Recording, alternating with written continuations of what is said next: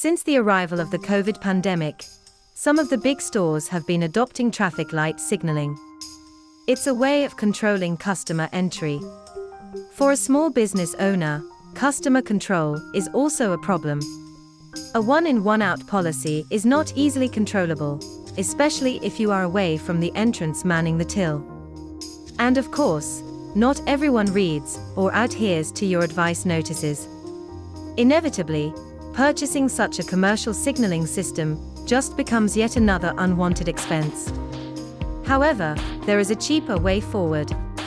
Here at the community run village shop in Itteringham, we decided to build our own version and one scaled to our needs, and for a lot less than a commercial solution.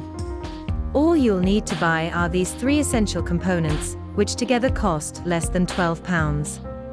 A wireless, remote controlled 2 light switch controller, costing under £7. A green and a red 240 volt panel light costing around £3 each. A mains cable with plug and suitable housing to assemble this in. Once wired together, you can place the signal at or near your shop entrance.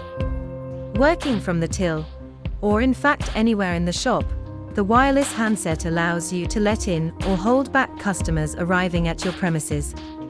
The items described in this video are available from the links shown in the description below.